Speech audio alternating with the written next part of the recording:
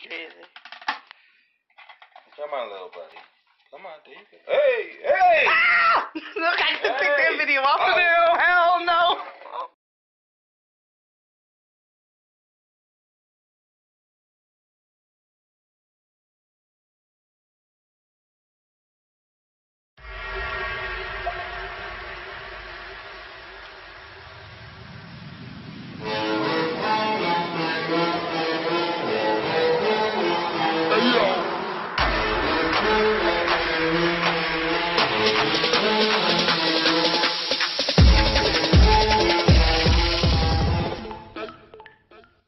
What's up, YouTube? This is Antonio from Ellis Family Pythons, and today I'm bringing you the results of our pewter calico to our yellow belly female.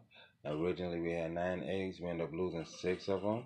Um, there was mold issues growing on the eggs, so we ended up losing those eggs. We lost a six egg just last week. We was fortunate enough to still have three eggs left.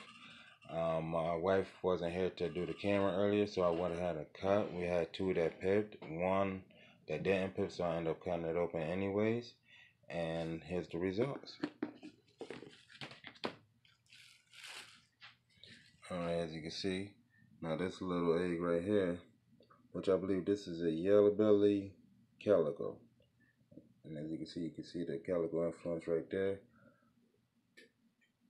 This is one egg that I will keep an eye on because it did have mold issues that I cleaned off from the side and at the bottom. Then we move over to the next egg. I'm not entirely sure, but I'm quite confident that it does have cinnamon and cinnamon and pastel, but I'm not quite sure about anything else. So if you guys know, just leave it in the comments of what you think. And then the third baby, which I know it resembles the father, so I'm thinking pewter calico. I'm just not sure if it has yellow belly in it, but we'll show, we'll know when the baby comes out the egg and probably go through their first shed.